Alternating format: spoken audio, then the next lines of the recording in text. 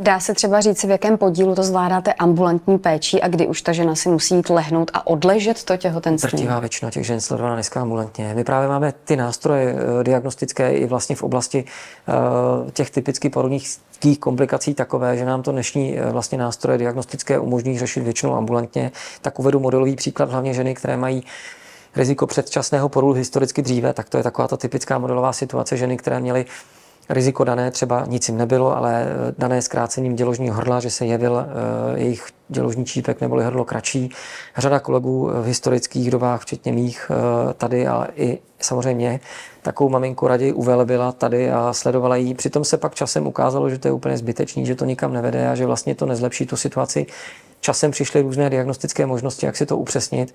Takže třeba dneska máme k dispozici tzv. fetální fibronektín, což je lepidlo mezi plodovými obaly a stěnou dělohy Eh, test na tenhle fetální fibronektín štětičkou z pochvy při eh, vlastně zkráceném děložním čípku nám výrazně zpřesňuje diagnostiku toho, jestli se chystá nebo nechystá porod.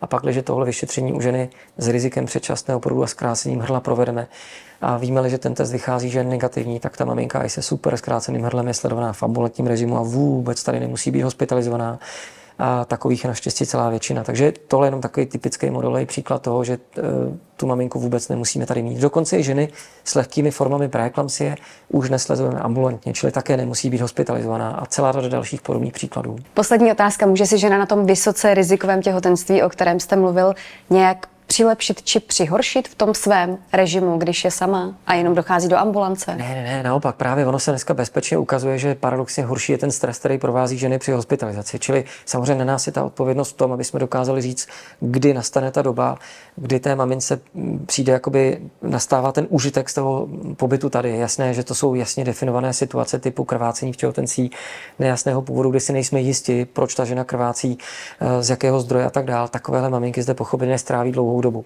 Ale hodně, hodně často jsou to ženy eh, právě, které mm, eh, dejme tomu, jsou stigmatizované spíš okolím a tím, co se dozvídají eh, a tam prostě jednoznačně po nějaké práci tady a odpozorování se ukazuje, že ten čas, který tráví doma, jim hodně přilepší. Takže modelová situace, opět předčasný porod, hodně velký tlak vyvíjí média a virtuální obecně média, která říkají, máte prostě riziko předčasného porodu, odležte to, říká to i hodně starších kolegů, ale vůbec kolegů obecně.